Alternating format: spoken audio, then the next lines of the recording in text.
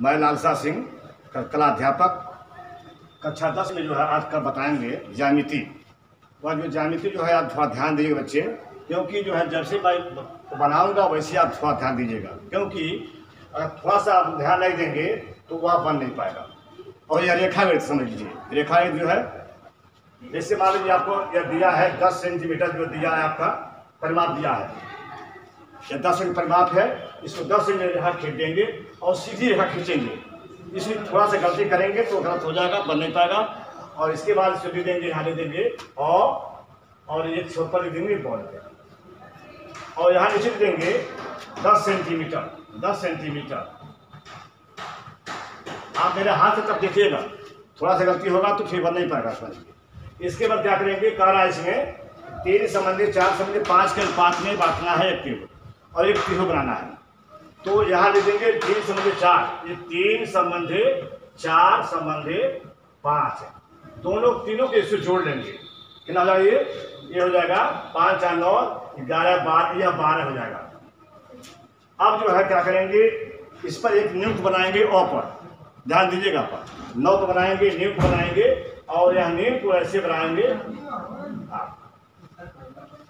यह नाना प्रकार से जब इसमें क्या करेंगे अ पर रखेंगे नाना प्रकार रखेंगे और कोई दूरी के एक चाप लगाएँगे और चाप लगाने के बाद फिर उसमें कुछ दूरी लगा के हम इसे काट देंगे और उसको खींच देंगे। इसके बाद इसको समान दूरी पर जो है नौ प्रकार में दूरी लेंगे और ऐसा करेंगे कि जो इसको काटे कि इसमें बारह भाग हो। अभी न और जब बहुत बढ़ा देंगे तो बन नहीं पाएगा। इसलिए यहाँ पर बराबर और भाग बांटेंगे एक उसका प्रकाश बांटेंगे एक भाग फिर उठाएँगे, फिर दो भाग हो जाएगा। इस तरह से तीन, चार, पाँच छः सात, आठ, नौ, दस, ग्यारह, बारह।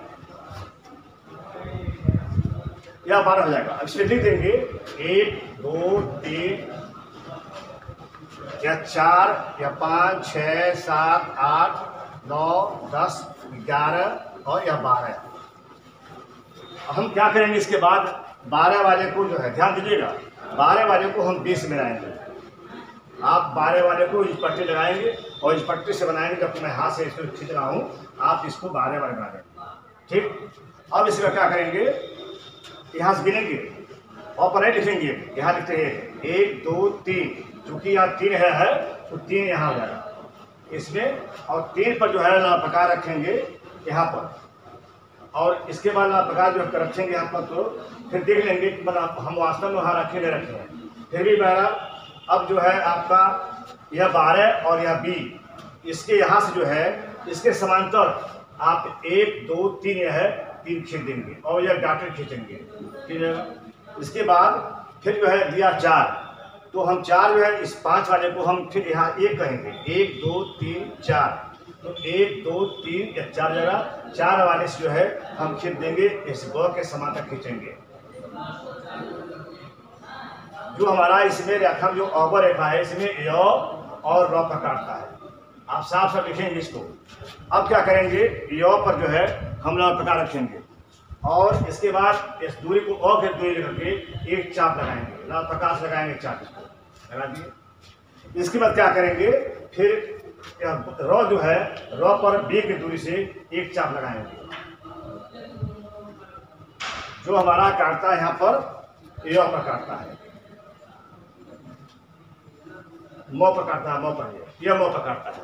अब इसके बाद क्या करेंगे? मौ वाले को जो है, हम इस जो यह है, इससे मिला देंगे, और फिर जो है, मौ वाले को जो है, हम रॉ से देंगे। और इसके बाद य और रॉ को हम जो है, बढ़ा कर देंगे। यही हमारा जो है, सिद्ध करना था। कि जो हमारा ये त्रिभुज बनेगा, जो तीन संबंधी चार संबंधी पाँच के अनुपात में होगा।